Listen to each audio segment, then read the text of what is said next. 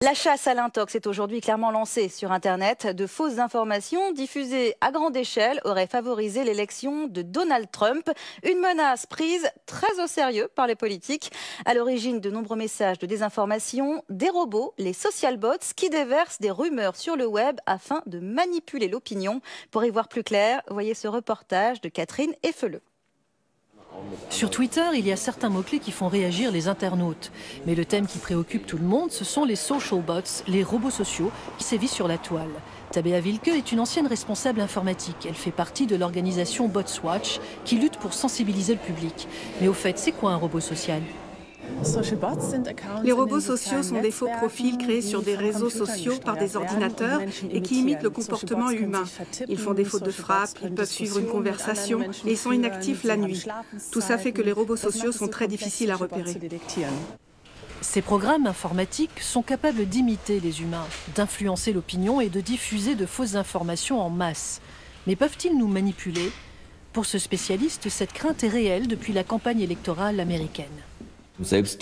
Trump a repris un tweet posté par un compte automatisé, puis il l'a retweeté sur son propre compte. C'était une citation postée par un compte nommé Il Duce 2016, le surnom de Benito Mussolini.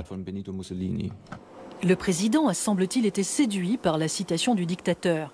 En Allemagne aussi, en cette année électorale, les robots semi-automatisés, qu'on appelle comptes hybrides, font des apparitions sporadiques. Leur mission principale consiste à diffuser à une vaste échelle les tweets d'autres comptes. Pour Botswatch, c'est ce qui permet de reconnaître un robot social. Nous avons fait des analyses et nous avons constaté que les robots qui sont actifs en Allemagne travaillent de façon très professionnelle. Avec la manipulation des discussions sur Twitter, le risque, c'est qu'on ne parle plus des avis et des positions des gens, mais des opinions des robots sociaux, et ça ne va pas dans le sens de la démocratie. Botswatch a passé au crible les discussions publiées sur Twitter lors des interventions télévisées des politiques.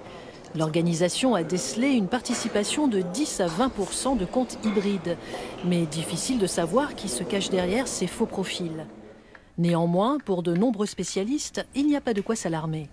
Selon Martin Hoffman, les robots n'ont pas les moyens d'influencer les électeurs. Äh, Je pense qu'on fait beaucoup de bruit à propos des robots sociaux, mais il n'existe à ce jour aucune étude qui prouve réellement qu'ils ont un impact sur le comportement des électeurs.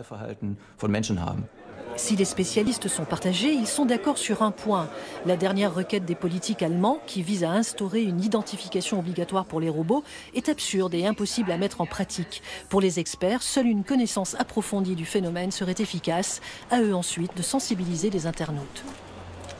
Alors quel est le pouvoir des social bots? Peuvent-ils réellement influer la vie politique? Dossier complet à découvrir sur notre site internet. Rendez-vous sur info.arte.tv.